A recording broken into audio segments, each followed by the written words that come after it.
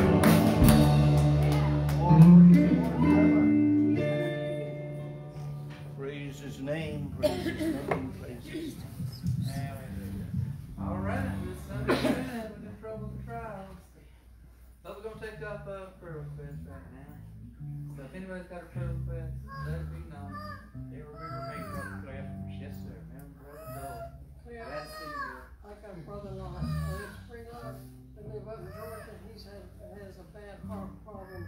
They got to do some surgery, but they haven't they haven't got an available schedule for that until June the 22nd.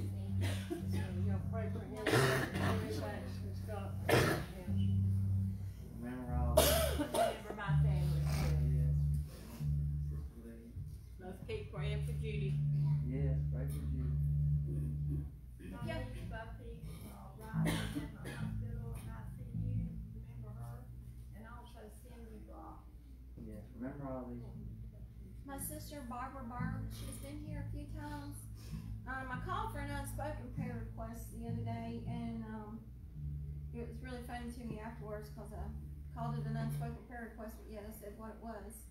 So, but uh, they have found some spots in her breast and possibly her lymph nodes. She's going for testing for cancer and stuff. If y'all will, please keep her in your prayers and stuff. She's really scared and and, uh, she needs the Lord in her life as well. Remember this request.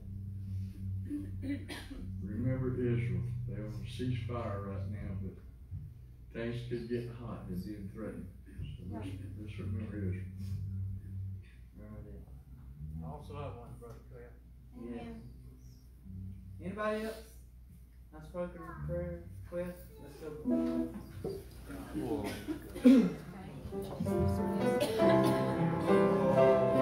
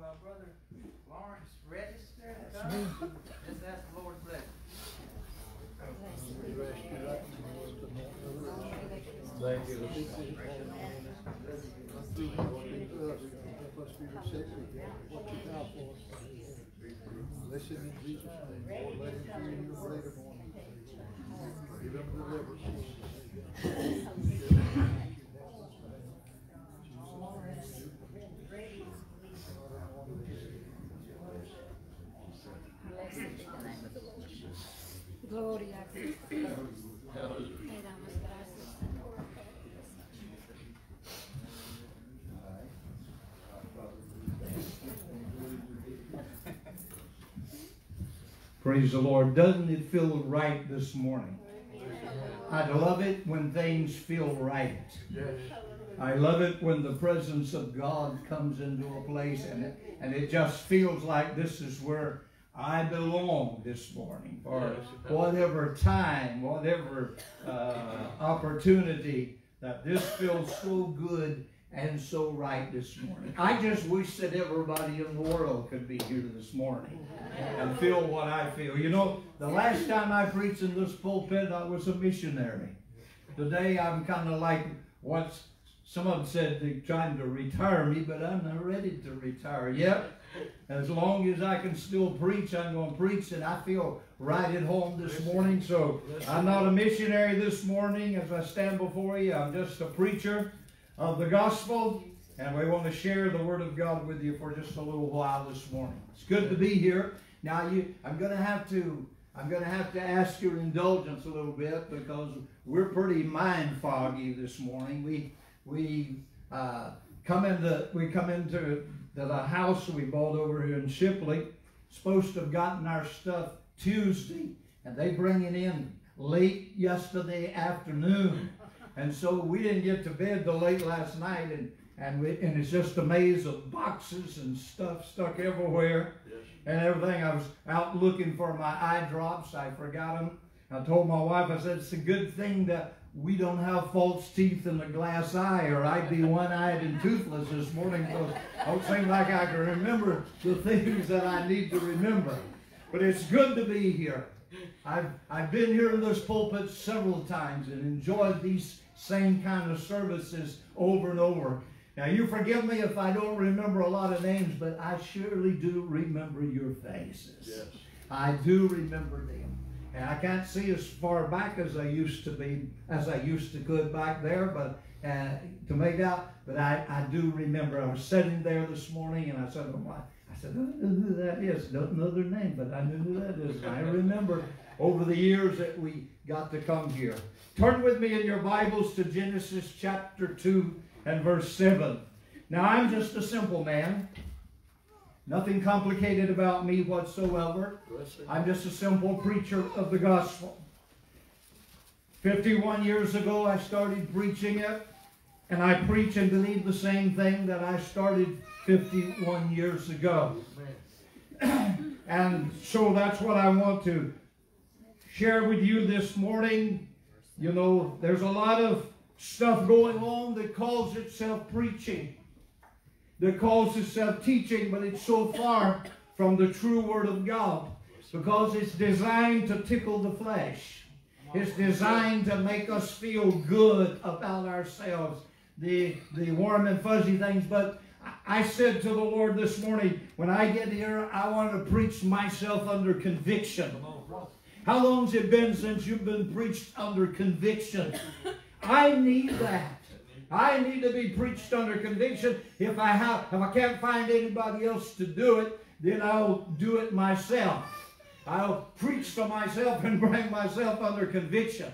And so that's what we want to do. We want to look at God's Word this morning for a little while. Genesis chapter 2 and verse 7.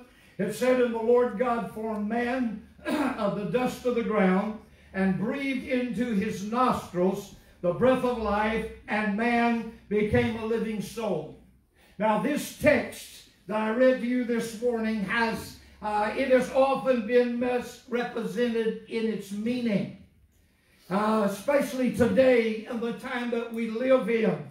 But it simply means that God breathed into a man the breath of life, and that man became a living soul.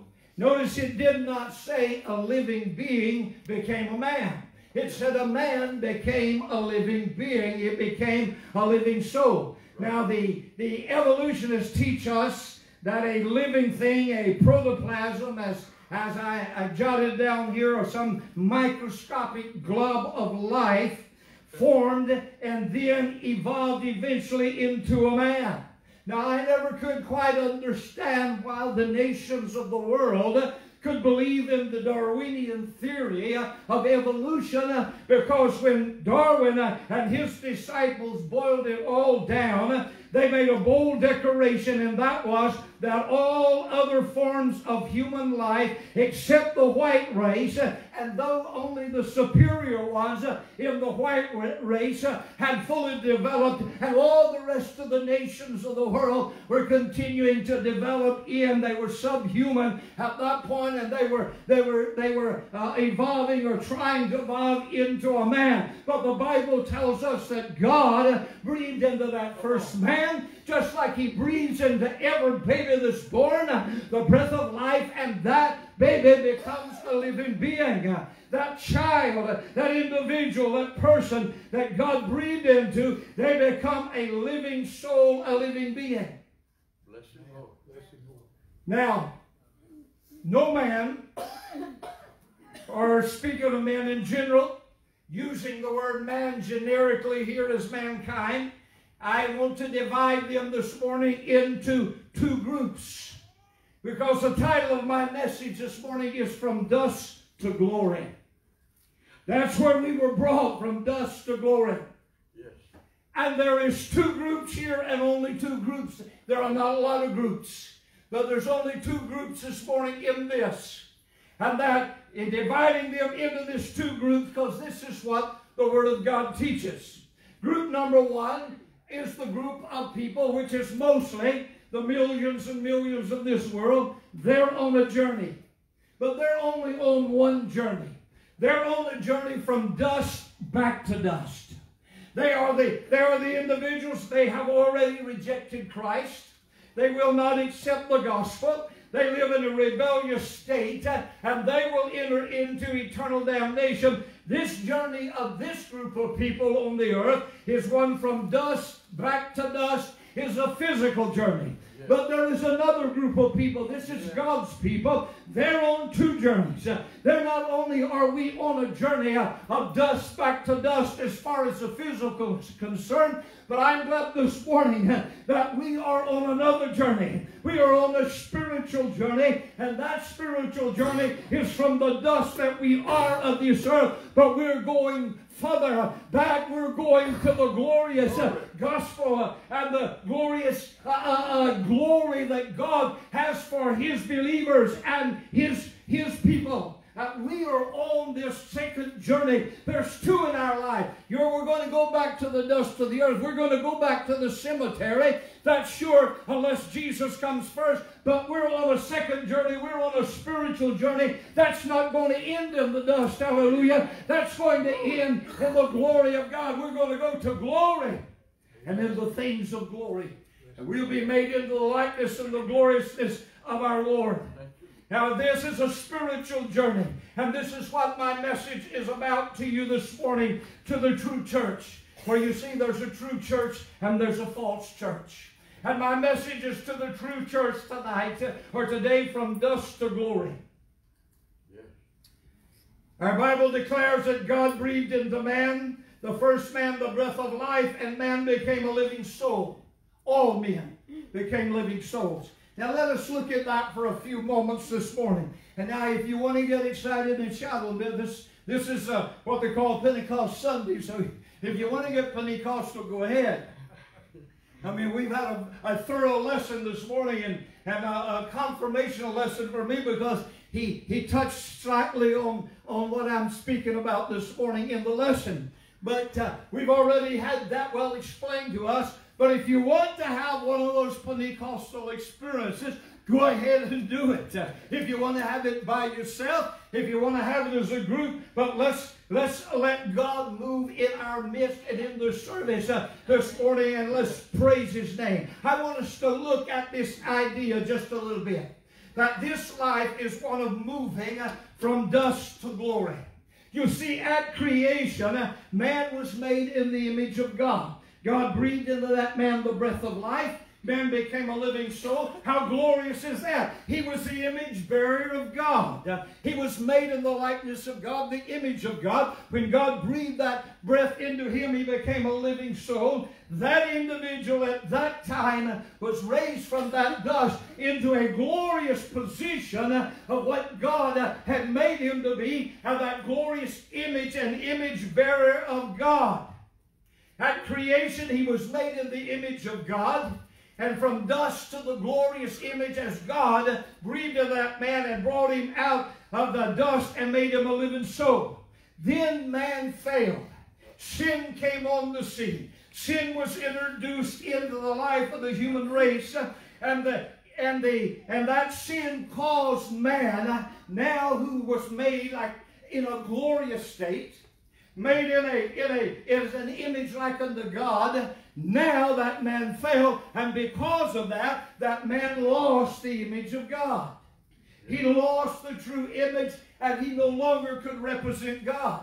He could no longer, he could no longer be that, be that image bearer of God. And so God and eh, God began to, to uh, prepare a way by which man could be brought back from now that corrupted condition that he was in because of the fall and because of sin, and he no longer can bear the image of God. And God, through Christ and redemption, made a way by which man uh, then could come back uh, into that pathway from that dust, uh, from that lost condition, that separated condition, that inability to bear the image of God anymore, and, and gave man an opportunity for redemption and brought man back to that place.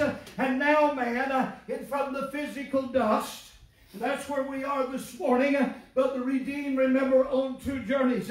Now, in this physical dust that we are in, through redemption, God has brought us now back to the glorious nature and image of Christ. And we now, only because we have been born again, only because we've been redeemed, now we are true image bearers again of God. We now can bear that image of God rightly.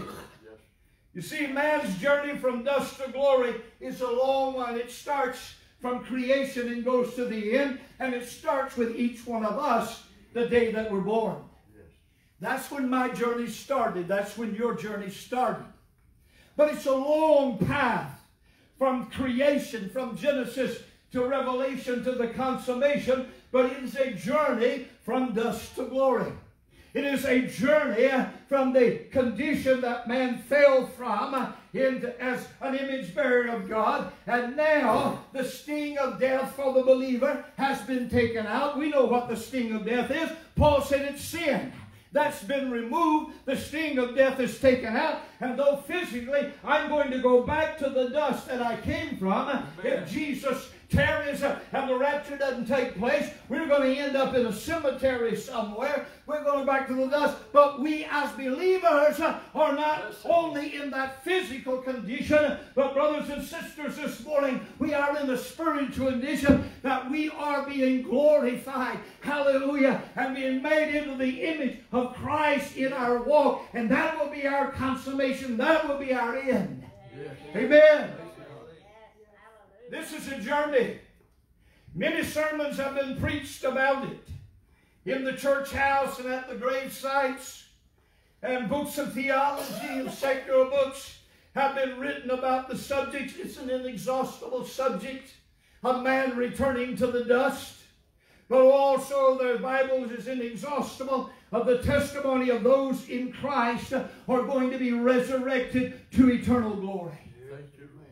You see, this resurrection, this death, this dust to glory. It's not a morbid thing that we think about, and the, and the finality of it is at the grave site. This is a glorious thing. It's the beginning for you and I. It's this glorious state that we will be in as we move on in to the likeness of Christ. Now, I want to touch on it for just a few minutes in this message with you. Let's look at the thought of man at creation. God created man, Genesis 1:27, in his own image. In the image of God created he him, male and female created him them. Now, I believe that 51 years ago, and I believe it this morning. Right. I believe it's gospel truth, it's the word of God. God created them, and he created them in his image. So we might say that man is, I want to use a long theological word this morning, man is theomorphic, but it simply means he's made in the image of God. He is now, Adam before he fell was the image bearer of God. And in that condition, in, in, in, in his created condition before he failed, man became the image of God, and God raised that body that laid there in the dust, Adam, which is a prototype of all of us, and all of us go back to that. But as he laid there in the dust, God then breathed into that perfect stature of a man that perfect created being, sinless, perfect in all of his ways, lying there. But until God breathed into that man, the breath of life, it just laid there. But God breathed into him. God put His Spirit into him that we talked about this morning. God puts His Spirit into us. The Spirit of God, the breath of God. There's a scripture, I don't remember exactly where it's found, but it talks about the, the, uh, the, the soul of man or the light of man is the candle of God. That candle, that light that's within him.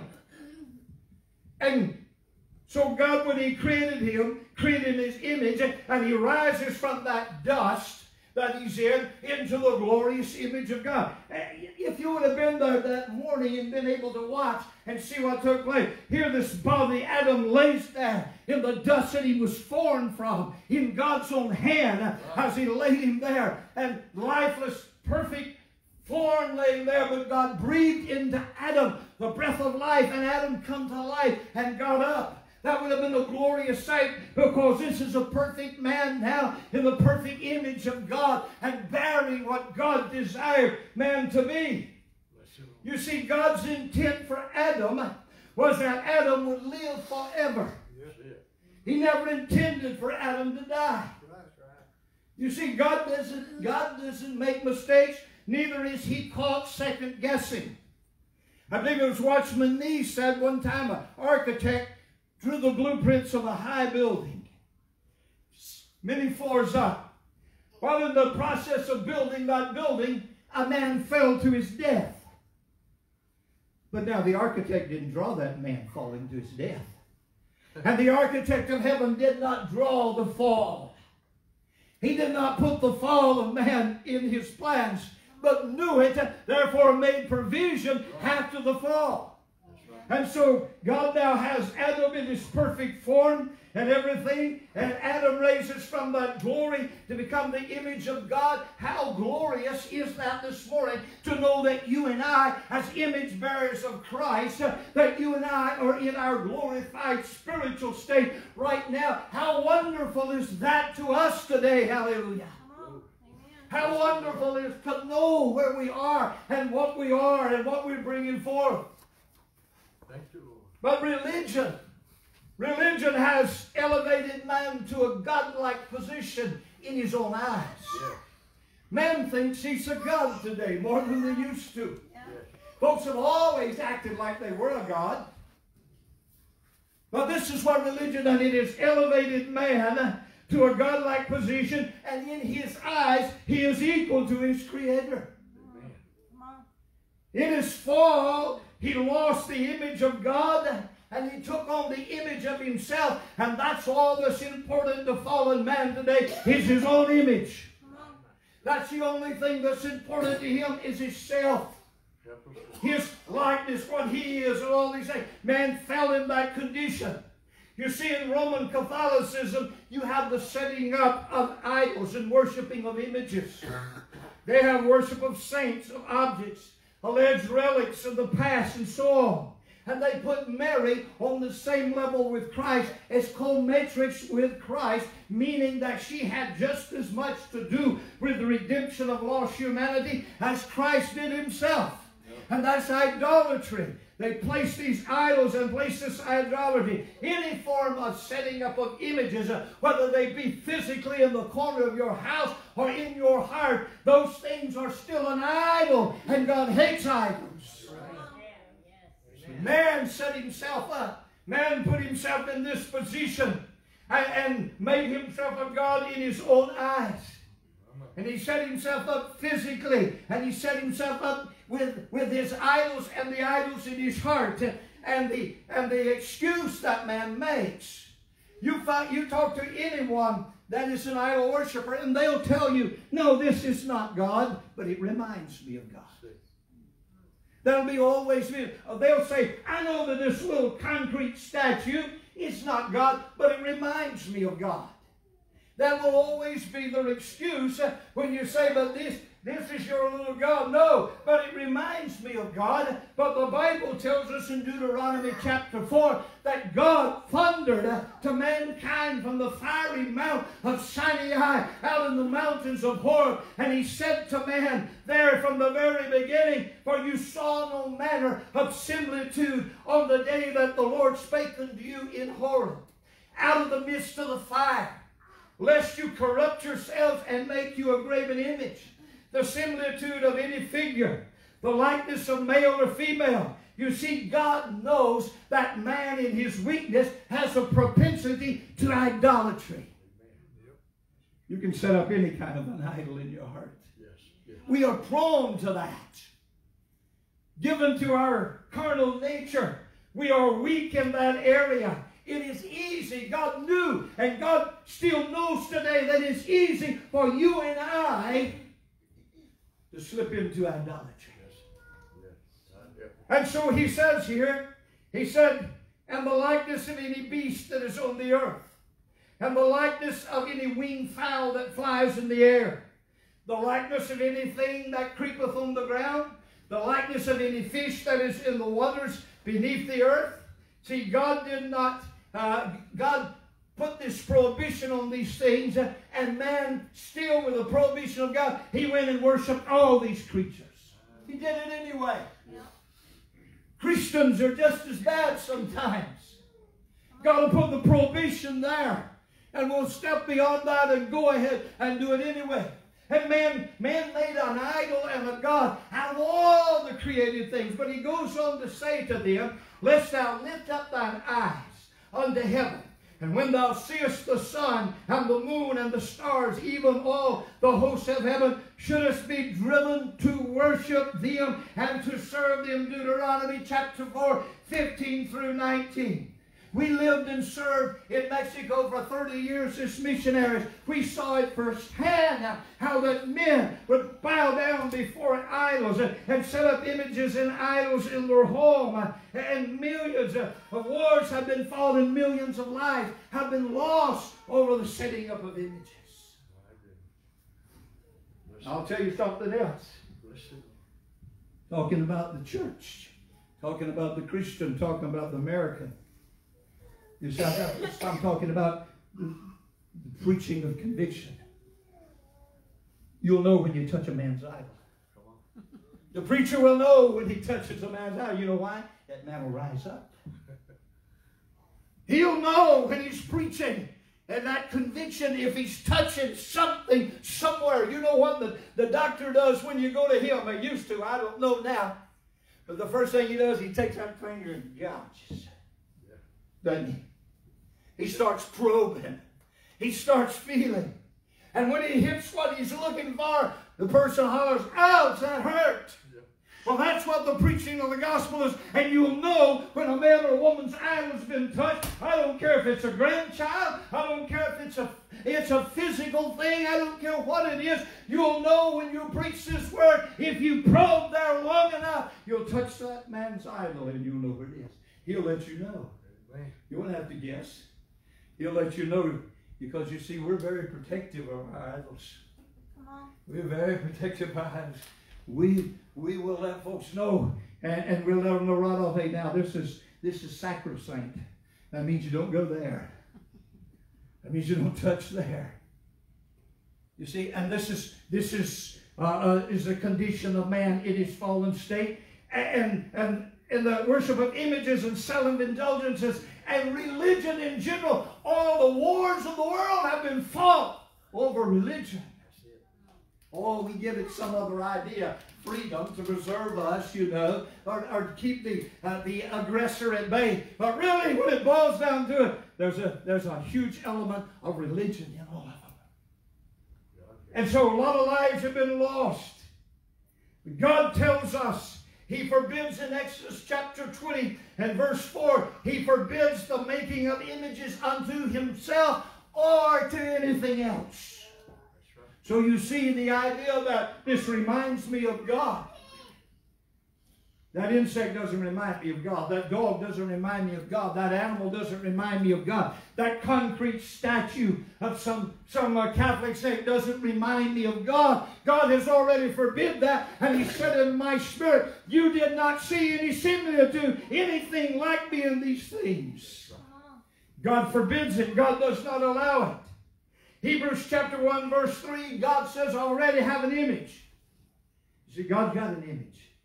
You want to set that image, and that's his son. Jesus Christ, the Bible said, is the express image. Amen. Hebrews 1 3. He is the express image of the Godhead.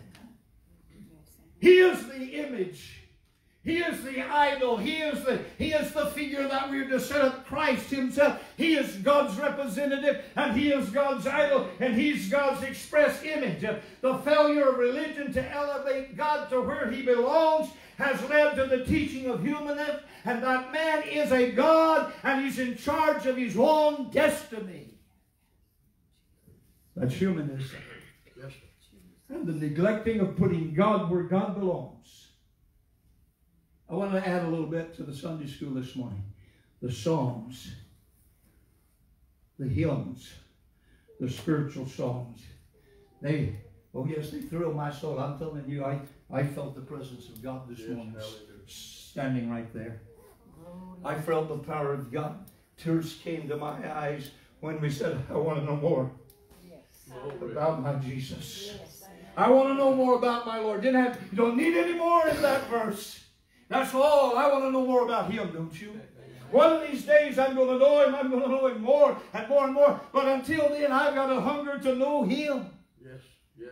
But in that, in that, that's what those songs do. But more than anything else, we must always remember that the psalms and hymns and spiritual songs are a worship and edification to God, and to lift up God, to glorify God. It is a form of worship, and if we worship the flesh, the devil takes that as worship for himself. That's right. Amen. He'll take it as worship. Yes. But you give you give worship to anything but God, the devil will stack it up and say, This is for me. He takes it. A lot of things we do, sometimes the devil takes that as worship. Let's go on. I don't even know where I am right now. Man, man has lifted himself up as a God. Yes, man was designed for dignity. He was designed, God designed the human race. He designed man at the beginning for dignity. He designed him for high rank, for honor and worth, but he never designed him to be equal with God. We are the image bearer, remember? We are not the image. We will never be God. No matter what we do or how we live or any of these things, but we will always be the image bearer of God. Man is never going to be equal with his creator, but in the beginning God made him sinless and in a perfect state and made man the image bearer of God on the earth. But you know, when the fall came in, the mirror was cracked. Mirror, mirror on the wall, who's the fairest of them all? I don't know about you, but until I come to Christ, my mirror was broken. My mirror was cracked. I wasn't a decent representative for anything. I wasn't even a fit representative for the human race, let alone to be the image bearer of God. And so, man in this perfect state before the fall, he became the barrier of God on earth. But no sooner I don't know, if some of you may believe Adam got to be an old man for his sin. I believe it happened right off the bat. I believe it happened from the get-go. But no sooner had he been created and the breath of life was breathed in him, and he got up walking around and breathing life on this earth and became a living soul and was the perfect image bearer of God. There was no imperfection, no sin, no shortcomings in him. He was perfect in the sight of God. He was the image bearer of God, but when the fall came, when he sinned, man through the fall lost that glorious state of the image of God, and man no longer in that state can be the image bearer of God. You cannot bear the glory of God and have an unregenerate nature. You cannot bear the image of God. You cannot have this glory, but man failed. He no longer was the image bearer of God, but he and his wife left the garden in shame. Yes, yes. yes. Drove them out. Put that, put that uh, a flaming fire, and that sword there. And drove them out from his presence. You see, you often hear sentimental people say,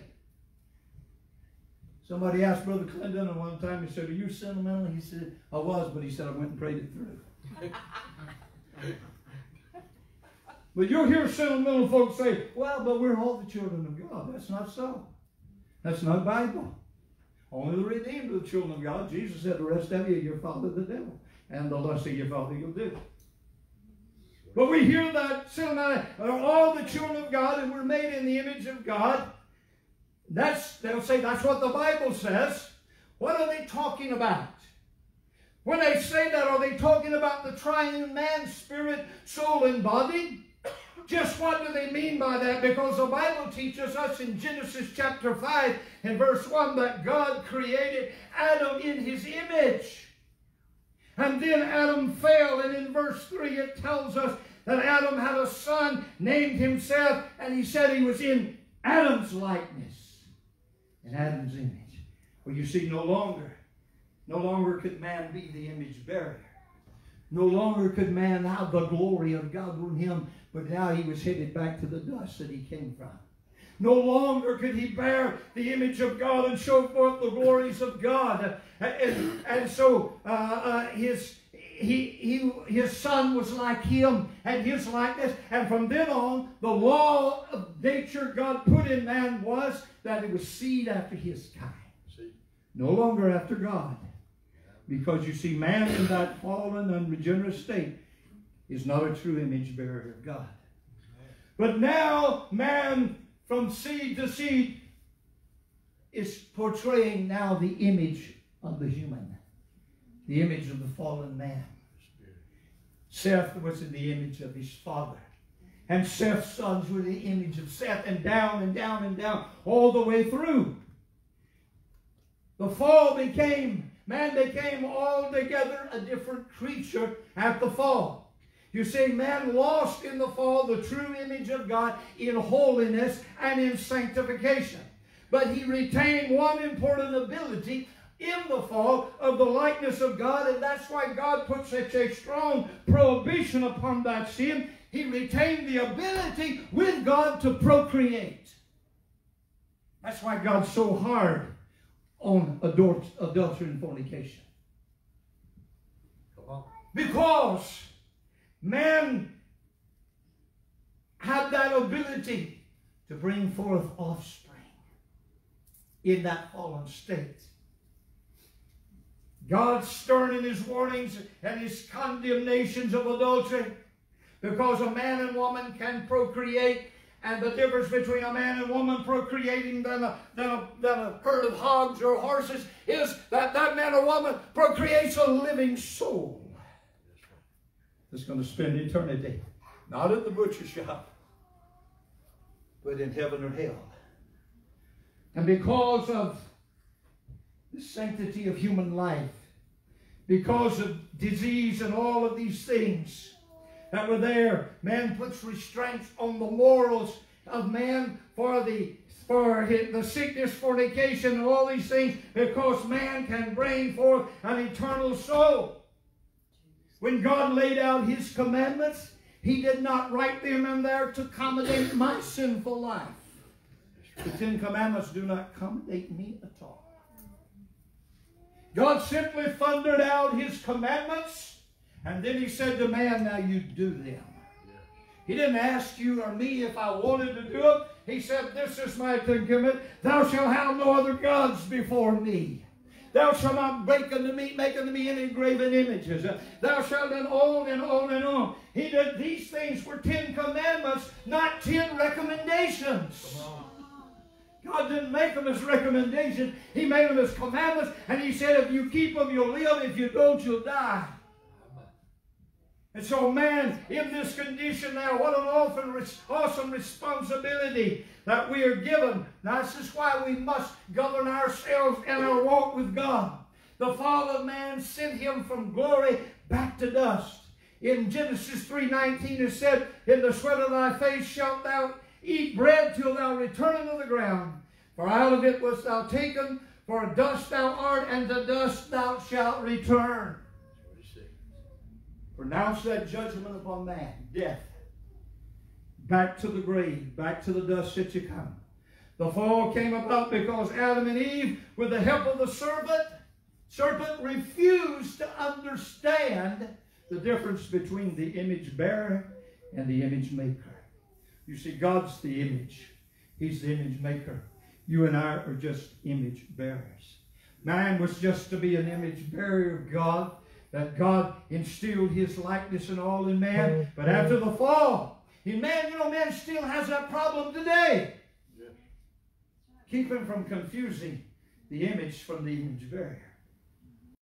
We still have that problem today, getting ourselves confused with God. Because of the fall, then the creature lost its ability to respond to the Creator. No longer could man respond to God. He put on a bunch of fig leaves and went hid himself. He couldn't respond. He couldn't fellowship. He couldn't have anything else to do with God. He lost his ability to respond to, to the Creator for the, and the purpose for Christ. You know, Jesus could have come and grown and in 30 days finished the work of the cross and went back to heaven. But he lived those years for one purpose, and that was to teach you and I how to live right before God. His whole purpose of staying here, his whole purpose of teaching, uh, and his whole purpose was to show us how to act and how to respond to God and how to know God. Yes. We see, until then, we don't know how to act around God. Yes. You know, sometimes our kids, they don't know how to act around company. But you know what? We sometimes don't know how to act around God. We, we don't understand. But Christ spent all that time here his messages, his teaching, his life, everything about it was to give you and I a blueprint so we know how to treat God. So we know something about God.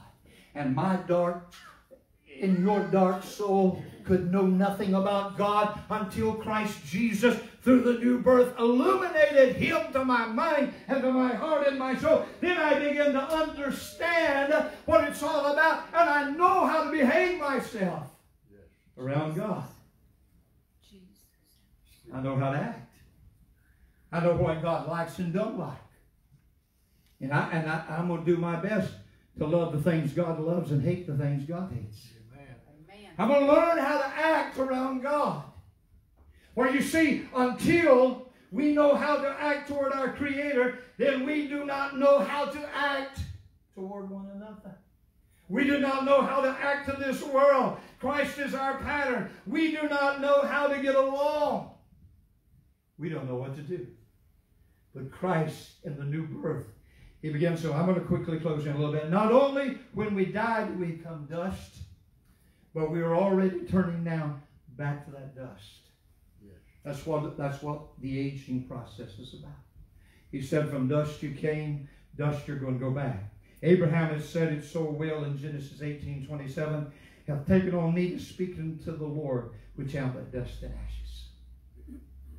Job said it like this in Job 30 and 19, I am become like dust and ashes. That's the process that we're in. That's what the process of life in this physical is all about. And with the fall from glory back to dust, man lost the image of God and was driven from his presence. God said to them in the garden when he drove them out, He said, Your kind can never come back in here again. Wow. Your kind can't go to heaven. Your kind can't come back in this garden. What did he mean? The unregenerate, fallen, sinful nature of humanity, as long as a man or woman is in that condition, they cannot get back into that garden. They cannot get back. That kind cannot come back in here again. And God sort of watch over that thing. And God is saying that to us today. That's why we need regeneration. That's why we need the new birth. Because without it, we can't get back in there again. Without it, we cannot enjoy the presence and the blessings of God. We cannot get back there. Our kind will never enter there again. We must be born again. That's why folks in religion never are born again. They go through their life, but they'll never get there. Because God said to them, Your kind can't come back here. In closing, I want to leave you one thought. This is the this is the this is the hardest problem not the sinner, but the Christian. This is the hardest problem you see that the Christian has. The two most important foundational stones in the gospel for the overcomer Christian is this. One is obedience to God. You'll never make it as a Christian until you learn obedience to God. And there's another one that's just as important. You see, you'll never, and I'll never make it as a Christian till I learn to resist temptation. That's the two foundation stones of the gospel and of your salvation. You will never be an overcomer. You will never get anywhere in God until you learn, and I learn to obey God, and I learn to resist temptation. The Adam and Eve knew this. They were perfect in all of their ways in their state, but they had a problem. They disobeyed God and they fell into the temptation of the Satan. Here comes Jesus. Now here's the perfect man. Here is the here is the second Adam. Like the first Adam, he's perfect, sinless, spotless. The only difference between him and Adam was that Christ obeyed the Father and resisted the devil. Amen. You see, a lot of people stay in trouble because you know they they they tried to obey God but they have a problem resisting temptation. That's a bedrock foundation of your Christian walk. Until you master those two points, you're not going anywhere in God. Until you learn. Jesus set that example. He fulfilled eternal salvation and gave eternal life to man because he obeyed God. He pleased the Father his whole life, his whole walk, everything about it. Not my will, but thy will. I, I speak only that which I hear my Father speak. I only do that which my Father tells me. He lived and walked under an open heaven. That's what we need today. Would you stand with We need to live and walk under an open heaven. What does that mean, preacher? What's an open heaven? When Jesus stepped down on that shores of that bank of that river that day, John looked up and said, Behold the Lamb of God that takes away the sin of the world. Oh, he walked down and got into that river and he said, John, let's fulfill the righteousness. I want you to baptize me. No, no, Lord, I, I need no. He said, You baptize me. For so it fulfills all righteousness. And the Bible said that when he come out of that water, we're talking about having the Spirit. We're talking about being led by the Spirit. Remember the Sunday school lesson this morning? Talking about having the Spirit. But you're going to have to obey God, and you're going to have to get to a place where you can live and walk under an open heaven. When Jesus come up out of that watery grave, John's baptism, the Bible said the heavens opened. The heavens opened. And the Spirit of God descended on him and lit on him. And from that point on, Jesus walked in obedience to God and resisted temptation. And you and I can have that same open heaven experience. But it'll only come as we obey God and resist that tempter. The difference between you and I and the problem we have with the tempter is when Jesus was faced with the tempter, he saw the devil. You and I, when we're faced with temptations, we only see the bait in the trap. We don't see who set the trap. But Jesus walked Jesus. under that open heaven. And the rest of his life until the cross, he pleased God. Not himself, he pleased God. You want to be an overcomer? You want to live victorious in your Christian life? You're going to have to build those two foundations in your Christian walk. And that's obedience first to God and resist that devil. The devil can't make you do it. But you can resist that tempter. Jesus resisted him and brought eternal life and salvation to you and I. Now, we, when we are born again, we now become the image bearers of God through Christ.